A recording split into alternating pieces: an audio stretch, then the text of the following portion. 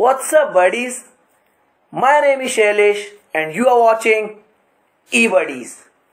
So, guys, today we are going to cover the basics of choice based system and the process of calculating your overall pointer.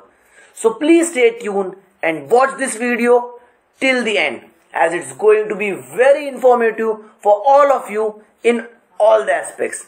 So without wasting your time, let's proceed to the main content.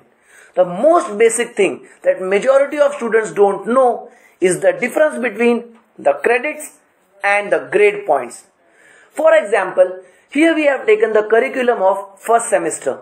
You can get this PDF from the official site of your university. For Mumbai University students, we have provided the drive link in the description. You can download it from there.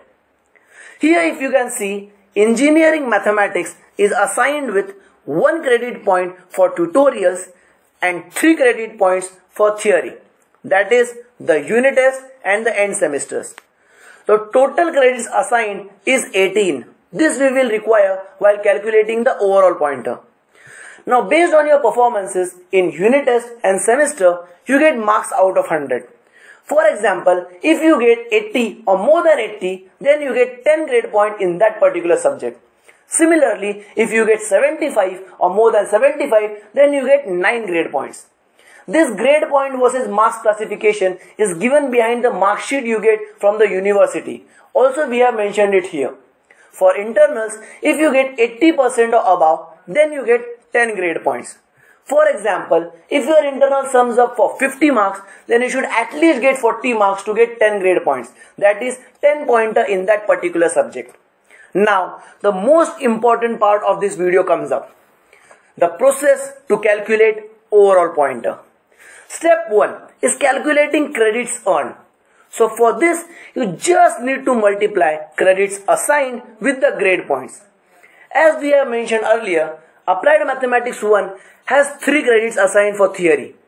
Consider you have got 10 grade points in theory. So the credits earned will be 3 into 10, 30 for the theory. Repeat the same procedure for term work and all other subjects. Step 2 is calculating final pointer. Here you just need to divide the total credits earned in all the subject by the total credits assigned.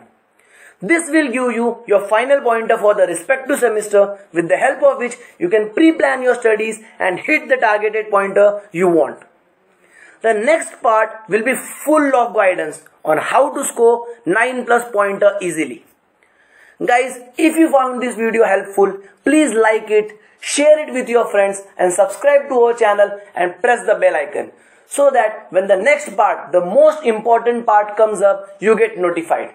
Also, if you have any queries or suggestions, you can DM us on our Instagram handle or you can mention the same in the comment section.